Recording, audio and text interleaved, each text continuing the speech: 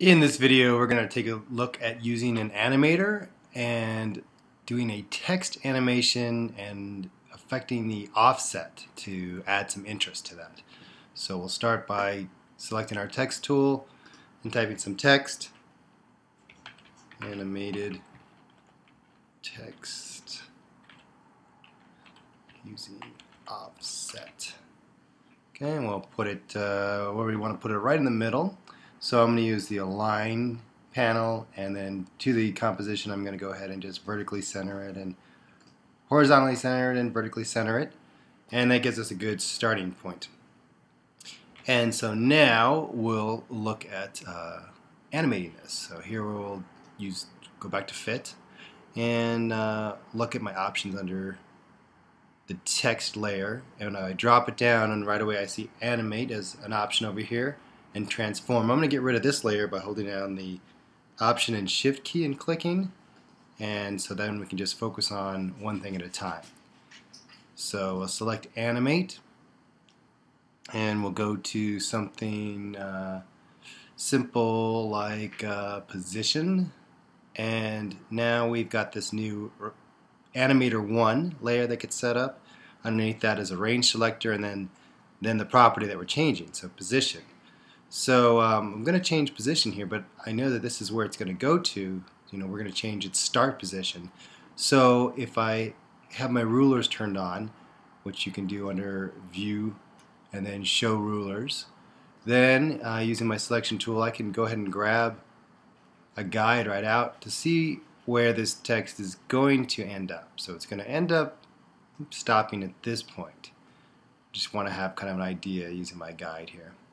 Okay, so now if I, I'm going to do the offset, uh, here are my x and y, so I'm just going to change my y coordinates to have it come from below.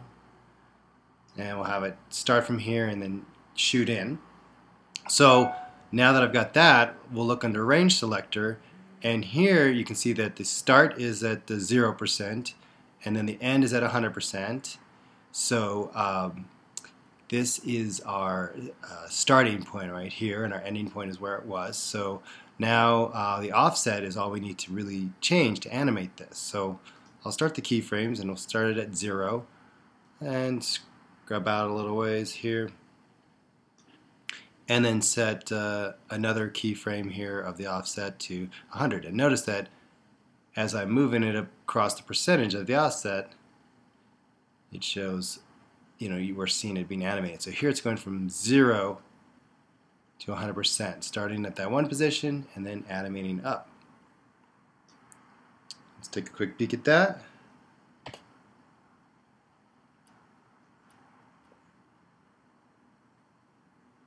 Okay, and there we have it uh, coming up like that.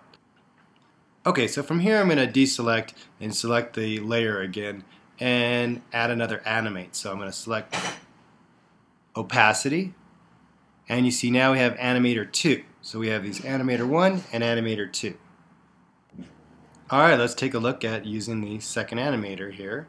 So with this animator, the opacity uh, 100%, so I want to have it our starting at 0, so we can't see it at all right now. If we uh, scrub, we can see the animation that's happening there.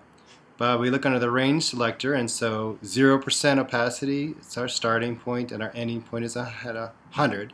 So let's go ahead and add the offset. And I added the first one here at 0%. And I'm going to go to approximately the same spot as when the animation of the, the titles coming up is ending. And I'll set that at 100 here. And now uh, we take a look at this animation, we have the text fading in from um, 0% opacity. So we got kind of a cool effect, kind of where it just seems like it just kind of comes on to the stage. Doesn't even have to come from off stage because its transparency was already set to zero. So there's another example of using the offset and combining two animators.